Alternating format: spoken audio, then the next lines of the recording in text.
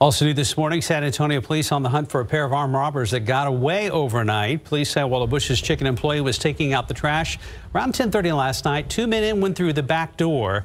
One was wearing a, band, a red bandana over his face. The other had a Halloween mask on. Police say both men were armed with guns. At the location in the 8800 block of Potranco Road, police say they did get away with some cash and are still at large.